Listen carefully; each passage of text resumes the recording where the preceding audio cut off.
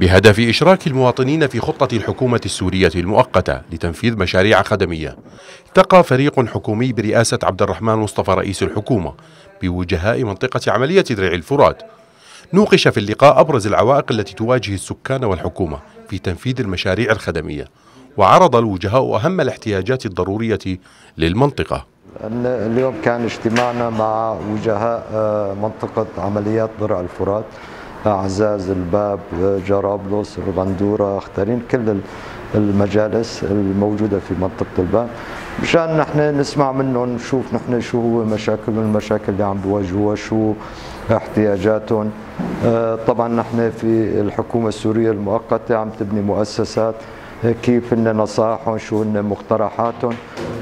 طبعا نحن دائما نعرف إنه الشرعية هي شرعية الناس اللي موجودين بالأرض. والحكومة السورية المؤقتة هدفها هي أن تكون قريب من مشاكل أهلنا بحيث انه نلاقي حلول مشتركة. اللقاء بين وفد الحكومة والوجهاء أثمر عن الاتفاق على تفعيل كافة المؤسسات القضائية والأمنية والإدارية. واعتبر أحد وجهاء مدينة عزاز أن اللقاء كان مثمرا وإيجابيا وأن الوجهاء اتفقوا مع الحكومة على أن تكون اللقاءات دورية ودائمة. اجتمعنا مع الحكومة المؤقتة نحن كوجهاء المنطقة من أجل التعاون لحل مشاكل المنطقة. وكان الاجتماع مثمر جدا وناجح وتم التفاهم على كل الأمور أغلبها يعني الموجودة والمشاكل الموجودة في المنطقة. وطبعا كان الهدف الأول منه تفعيل المؤسسات الموجودة إن كان أمنية وإن كان قضائية وإن كان إدارية وحل أغلب المشاكل الموجودة وكان التعاون جيد ماكن وإن شاء الله بنتمنى من هذا الاجتماع يكون فيه الخير لهالبلد واتفقنا على تكون الاجتماعات الدورية لحل مشاكل البلد.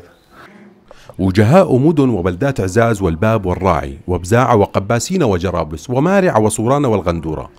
أعلنوا في لقائهم مع الحكومة تشكيل تجمع وجهاء درع الفرات على أن ينظم هذا التجمع لقاءات دورية مع الحكومة المؤقتة. حكومة قال عنها الوجهاء أنها تمثلهم. وسيدعمون توجهاتها وتسهيل عملها بحسب أحد الوجهاء لتحقيق المصلحة العامة لكل المواطنين في منطقة عملية درع الفرات.